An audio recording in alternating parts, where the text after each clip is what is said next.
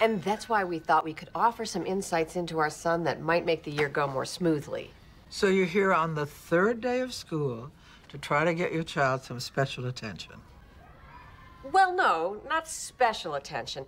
But you see, he is, you know, a little special. Let me tell you something, Mommy. Every parent thinks their child is special. They can't all be. That's impossible.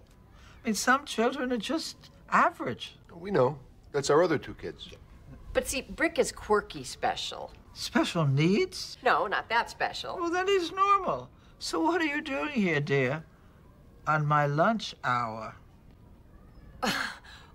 well, uh, we were just trying to get out on top of it. And, um, you see, Brick whispers. There is such a thing as overparenting, Mommy. That's not us. No, if anything, we underparent.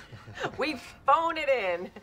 Right, Daddy? I don't know what we're doing here. We trying to convince her that Brick is weird or not weird or what? I know that it's easy for some mothers to latch onto their sons too tightly. Maybe you're trying to get from him what is missing in your relationship with your husband. Hey.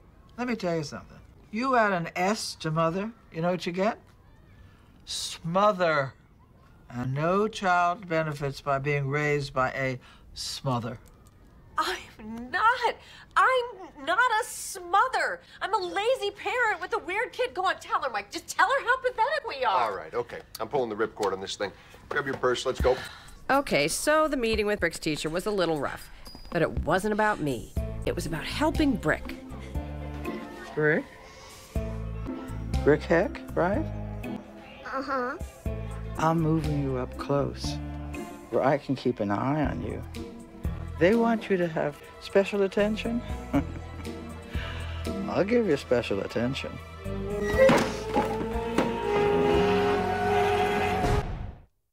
I swear, this is so not me. I mean, for you to see me at school twice in one week, I'm usually here twice the whole year. If that. Look, I got the gals waiting for me at Beefsteak Charlie, so why don't we just cut to the chase? If you could please just forget everything I said at our last meeting. Done. And go back to treating him the way you would have treated him had I not come in and maybe move his desk back. I know that would make Brick so happy. So now the kid's calling the shots? No. I'm completely calling the shots. And you, you're the main shot caller.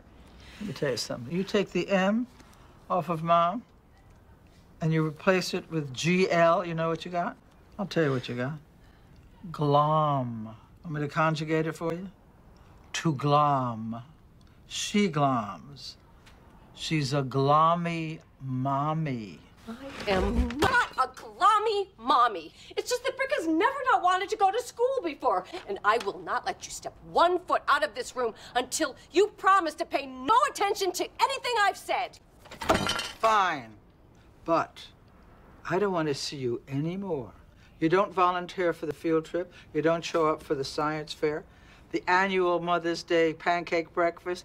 Maybe you're not so hungry that day. Got it? Damn. I really like that pancake breakfast.